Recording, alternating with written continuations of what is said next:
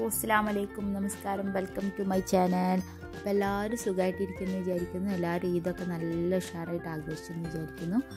അപ്പോൾ ഇന്നത്തെ നമ്മുടെ ഒരു വീഡിയോ എന്ന് പറഞ്ഞാൽ നമ്മൾ പെരുന്നാളിന് എന്തെല്ലാമാണ് ഉണ്ടാക്കിയതെന്നാണ് കാണിക്കുന്നത്.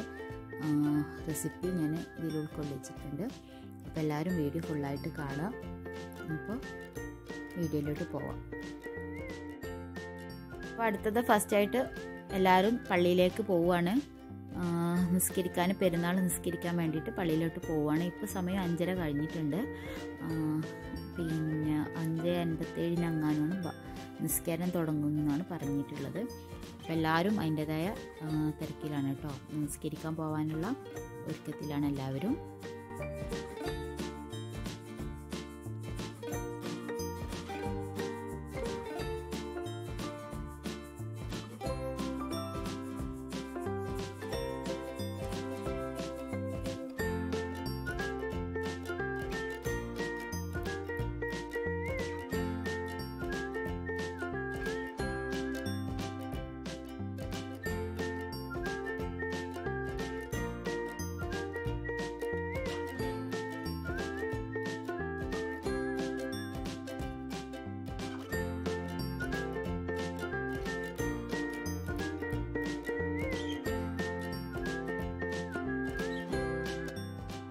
അപ്പോൾ എല്ലാവരും നിസ്കരിക്കാനും പോയിട്ട്. അപ്പോൾ ഇനി നമുക്ക് ഞാൻ ഇന്ന് ഉണ്ണിയപ്പാണ് ഒരു മധുരമായിട്ട് ഉണ്ടാക്കാൻ വിചാരിക്കുന്നത് രാവിലത്തെ.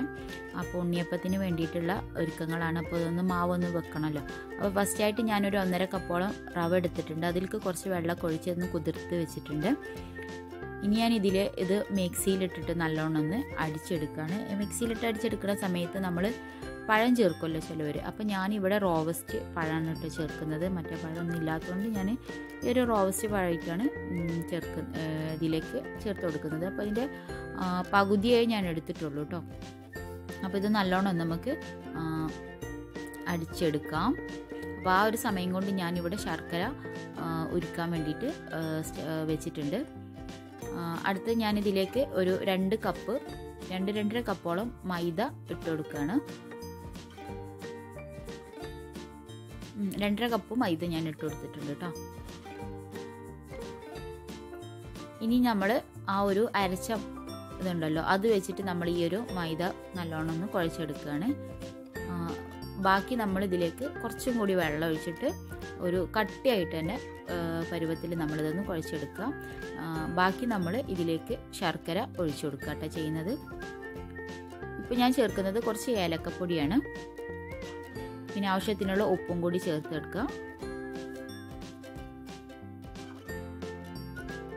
ഉപ്പും കൂടി ചേർത്ത് നല്ലോണം ഒന്ന് മിക്സ് ചെയ്ത് കൊടുക്കാം. അതിന് ശേഷം ഞാനിപ്പോൾ ശർക്കര ഉരുക്കിയെടുത്തത് ഞാൻ ഇതിലേക്ക് ഒഴിച്ചു കൊടുക്കാം കേട്ടോ.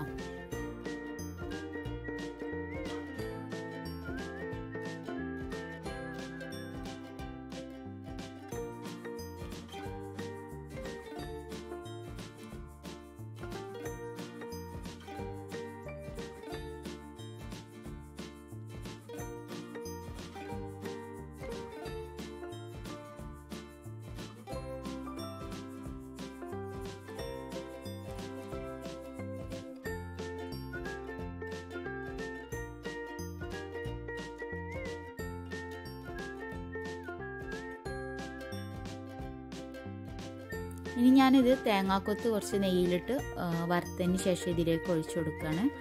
എന്നിട്ട് ഞാൻ ഇതൊരു രണ്ട് മണിക്കൂറെങ്കിലും നമ്മളിത് റെസ്റ്റ് ചെയ്യാൻ വെക്കണം കേട്ടോ. രണ്ട് മണിക്കൂർ മിനിമം രണ്ട് മണിക്കൂറെങ്കിലും എന്തായാലും ഇത് വെക്കണം. അപ്പോൾ ഇത് ഞാൻ ഇതിലേക്കൊന്ന് ചേർത്ത് കൊടുക്കുകയാണ്. എന്നിട്ട് നല്ലോണം ഒന്ന് മിക്സ് ചെയ്ത് ചെയ്തതിന് ശേഷം ഇതൊന്ന് നമ്മൾ റെസ്റ്റ് ചെയ്യാൻ വെക്കും കേട്ടോ.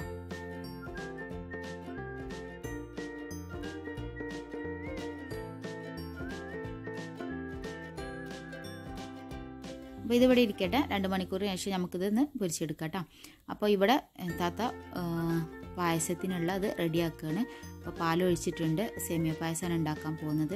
അതുപോലെ തന്നെ കുറച്ച് ചപ്പാത്തി ചുട്ടെടുക്കുകയാണ് രാവിലെ തന്നെ ആർക്കും മധുരം കഴിക്കുന്നതിൽ വലിയ താല്പര്യമില്ലാത്തതുകൊണ്ട് നമ്മൾ സാധാരണ നമ്മൾ ബ്രേക്ക്ഫാസ്റ്റ് ഉണ്ടാക്കുന്ന പോലെ തന്നെ എന്തെങ്കിലും ഉണ്ടാക്കാമെന്ന് വിചാരിച്ചു. അപ്പോൾ നമ്മൾ ചപ്പാത്തി ഞാൻ തലേന്ന് പരത്തി വെച്ചതായിരുന്നു കേട്ടോ. അപ്പോൾ അതൊന്ന് ചുട്ടെടുക്കുകയാണ്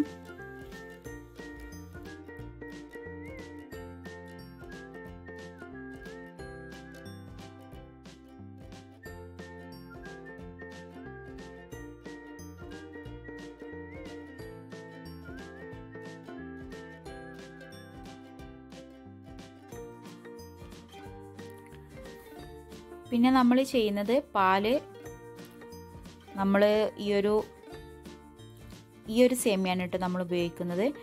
അധികം കട്ടിയൊന്നുമില്ലാതെ നൈസായിട്ടുള്ള ഒരു സേമിയാണ്. പിന്നെ നമുക്കിതിലേക്ക് ഈ ഒരു നെയ്യ് ഒഴിച്ചു കൊടുക്കാം. നെയ്യ് ഒഴിച്ചു കൊടുത്തതിന് ശേഷം അണ്ടിപ്പരിപ്പും മുന്തിരിയും കൂടി ഇട്ടൊന്ന് വറുത്തെടുക്കാം കേട്ടോ. നല്ലോണം വറുത്തെടുക്കുക.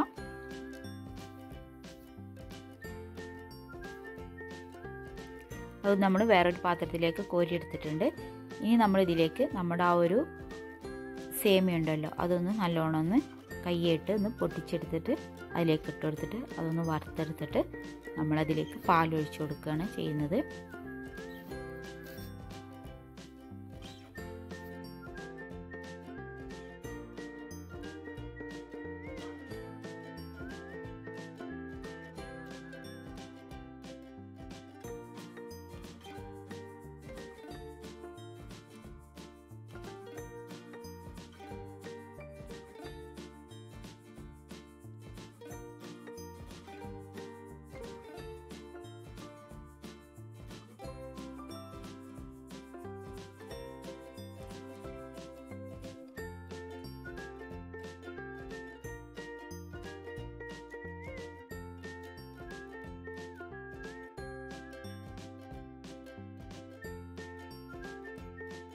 അപ്പോൾ പാലൊക്കെ ഒഴിച്ചു കൊടുത്തിട്ടുണ്ട്. ഇനി നല്ലോണം തിളച്ച് വരട്ടെ കേട്ടോ നല്ലോണം തിളച്ച് ഇതാക്കി വരട്ടെ.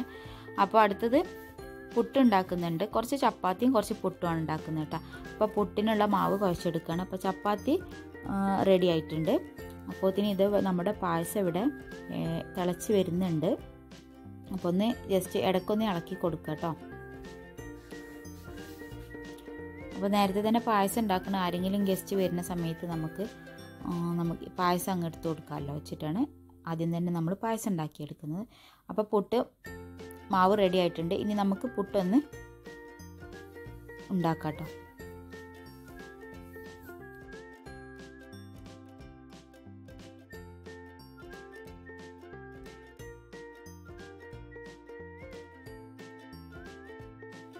അപ്പോൾ പായസം അവിടെ തിളച്ച് തിളക്കുന്നുണ്ട് കേട്ടോ അടുപ്പിലുണ്ട്. അപ്പോൾ നമുക്ക് പുട്ടൊന്ന് ഉണ്ടാക്കിയെടുക്കാം.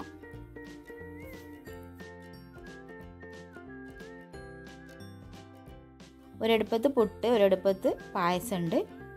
പായസത്തിലേക്ക് ഇനി നമുക്ക് മധുരത്തിന് ആവശ്യമുള്ള പഞ്ചസാര കുറച്ച് ചേർത്ത് കൊടുക്കുകയാണ്. പിന്നെ നമുക്കിതിലേക്ക് കുറച്ച് മിൽക്ക് മെയ്ഡും കൂടി ചേർത്ത് കൊടുക്കുന്നുണ്ട് കേട്ടോ.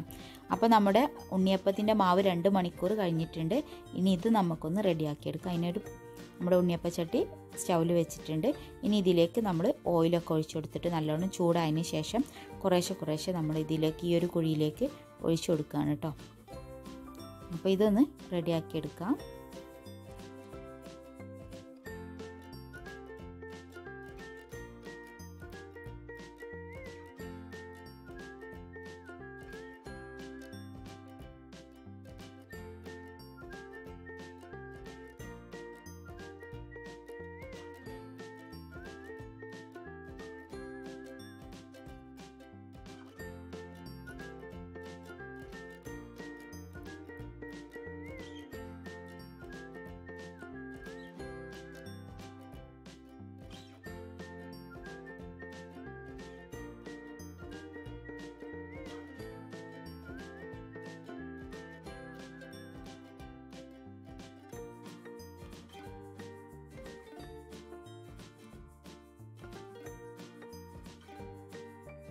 അപ്പോൾ ഒരു ഭാഗം മൂത്ത് വരുമ്പോൾ നമ്മളതൊന്ന് മറിച്ചിട്ട് കൊടുക്കണം കേട്ടോ. അപ്പോൾ ഇതാ നമ്മുടെ ഫസ്റ്റ് പുട്ട് റെഡി ആയിട്ടുണ്ട്. അപ്പോൾ പുട്ടൊന്ന് നമുക്ക് പാത്രത്തിലേക്ക് മാറ്റാം. എന്നിട്ട് അടുത്ത ബാച്ച് വെച്ച് കൊടുക്കാം കേട്ടോ. അപ്പോൾ ഫസ്റ്റ് ഉണ്ണിയപ്പം റെഡി ആയിട്ടുണ്ട് കേട്ടോ. നമ്മൾ ഓരോന്നോരോന്നായിട്ട് നമ്മളിതൊന്ന് എടുത്ത് മാറ്റണം.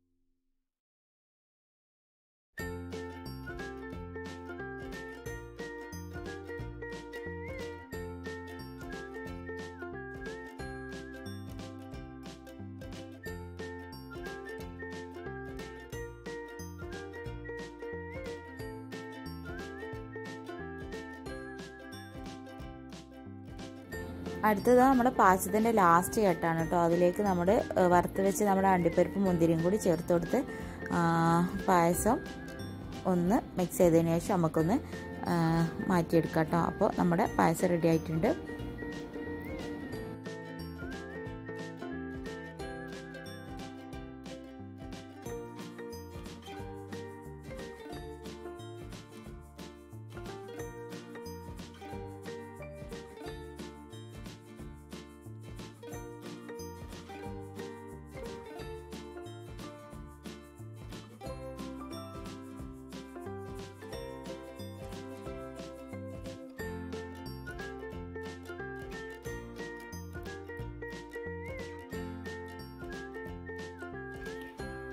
അപ്പോൾ അത് ബീഫ് ചട്ടിയിലേക്ക് മാറ്റിയിട്ടുണ്ട്. അപ്പോൾ അതൊന്ന് ചൂടാക്കി എടുക്കുകയാണ് ഇനി നമ്മൾ ബിരിയാണിക്കുള്ളതാണ് തയ്യാറാക്കുന്നത് ഒരു പാത്രം വെച്ചിട്ടുണ്ട് അതിലേക്ക് ഓയിലും അതുപോലെ തന്നെ നെയ്യും കൂടി ഒഴിച്ചിട്ട് നമ്മൾ ഓയിലൊന്ന് ചൂടാക്കിയെടുത്തതിന് ശേഷം നമുക്കിതിലേക്ക് പട്ട ഗ്രാമ്പൂ ഏലക്ക ഇതൊക്കെ ചേർത്ത് കൊടുക്കാം.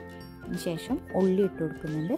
ഉള്ളി ഇട്ട് കൊടുത്തിട്ട് ഉള്ളി നല്ലൊരു ബ്രൗൺ കളർ ആവുന്നത് വരെ നമ്മളിതൊന്ന് കുക്ക് ചെയ്യണം. ഈ ഒരു സമയത്ത് നമ്മൾ ഇതിലേക്ക് ഉപ്പ് ചേർക്കാതെയാണ് കേട്ടോ നമ്മളിത് ചെയ്തെടുക്കുന്നത്.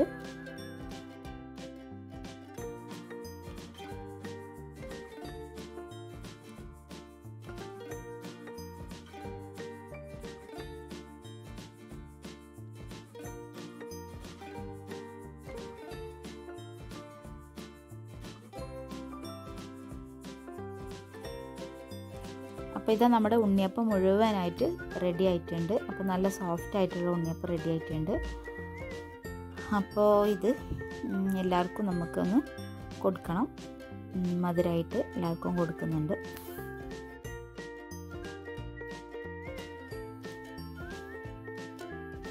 ഉള്ളി ഏകദേശമായി വരുന്നുണ്ട് കേട്ടോ അപ്പോൾ ഇതാ ഉള്ളി നല്ലോണം ബ്രൗൺ കളറായിട്ടുണ്ട് അപ്പോൾ അതിലേക്ക് ഇഞ്ചി വെളുത്തുള്ളി പച്ചമുളക് ഇതൊന്ന് ക്രഷ് ചെയ്തിട്ട് ഇതിലേക്ക് ഇട്ട് കൊടുത്തിട്ട് ഒന്ന് മിക്സ് ചെയ്ത് കൊടുക്കുകയാണ്. ഇതിന്റെ കൂട്ടത്തിൽ തന്നെ നമ്മൾ തക്കാളി കട്ട് ചെയ്തിട്ട് അത് നമ്മൾ ഇതിലേക്ക് ഇട്ട് കൊടുത്തിട്ട് നല്ലോണം കുക്ക് ചെയ്തെടുക്കാം.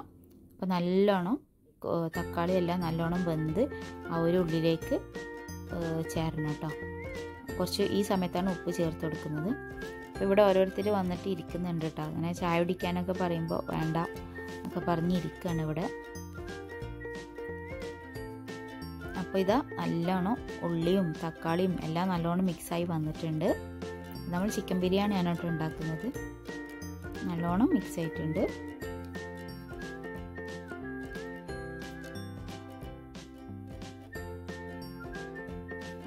അപ്പോൾ അടുത്ത് നമ്മൾ ഇതിലേക്ക് ചിക്കൻ ഇട്ട് കൊടുക്കുകയാണ്.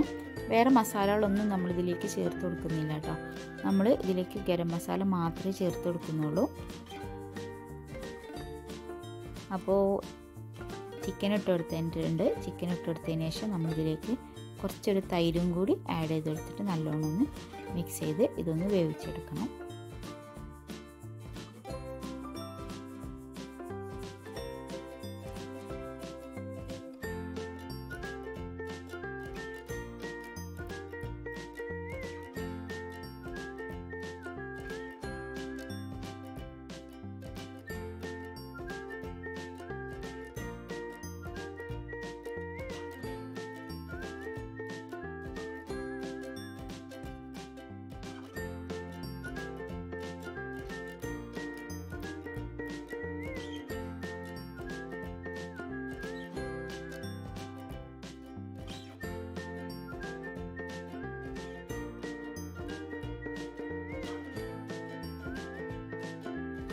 തൈരും കൂടി ഇട്ട് കൊടുത്തതിന് ശേഷം നമ്മളിതിലേക്ക് ഗരം മസാല നമുക്ക് ആവശ്യത്തിന് എത്രയാണോ ആ ഒരു ഗരം മസാലയും കൂടി ഇട്ട് കൊടുത്തിട്ട് നല്ലോണം മിക്സ് ചെയ്തെടുത്തതിന് ശേഷം ഒന്ന് മൂടി വെച്ച് നമ്മുടെ ഇത് ചിക്കൻ ഒന്ന് വേവിച്ചെടുക്കുക. ആ സമയത്ത് അത്യാവശ്യം വെള്ളമൊക്കെ ഉണ്ടാവും. പിന്നീട് അത് തുറന്നിട്ടിട്ടൊന്ന് വറ്റിച്ചെടുത്താൽ മതി.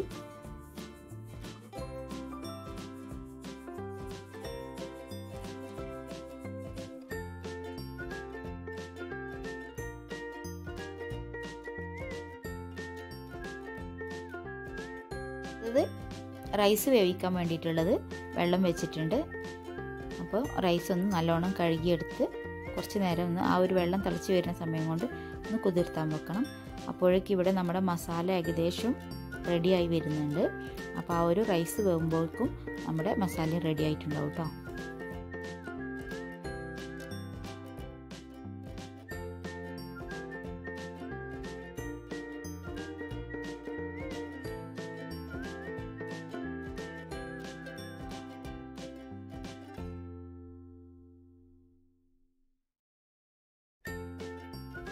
അപ്പോൾ മസാല ഒക്കെ ഏകദേശം റെഡി ആയിട്ടുണ്ട്. അതുപോലെ തന്നെ റൈസും റെഡി ആയിട്ടുണ്ട്.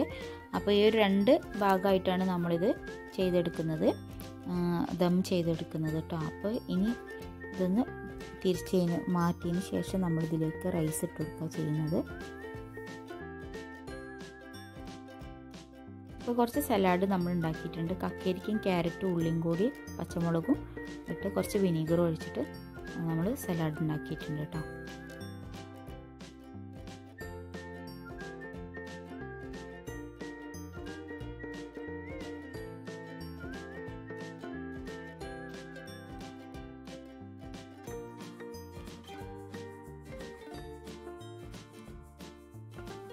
അപ്പോൾ കുറച്ച് മല്ലിയിലയും പുതിനയിലയും കൂടി ഇട്ടിട്ട് മേലെ നിന്ന് കുറച്ച് പുതിനയിലും മല്ലിയിലും ഇട്ട് കൊടുക്കാം.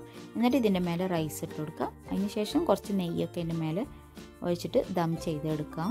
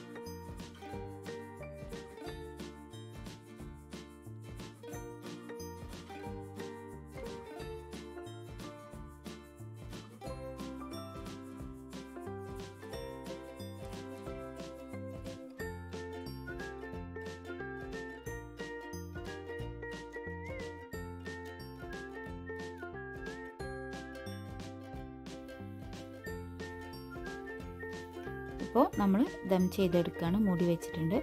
അപ്പോൾ ആ ഒരു സമയത്ത് ഇത് അവിടെ ഒരാൾ ചായ കുടിക്കാൻ വന്നിട്ടുണ്ട്. അപ്പോൾ ചായ കുടിക്കുകയാണ് ഒരാളിവിടെ കളിയിലും ഇതൊക്കെയാണ്. ഇടയ്ക്ക് ഇവിടെ ഒന്ന് വന്ന് സന്ദർശനമാണ് അവനക്കും ചായ കൊടുക്കുന്നുണ്ട്.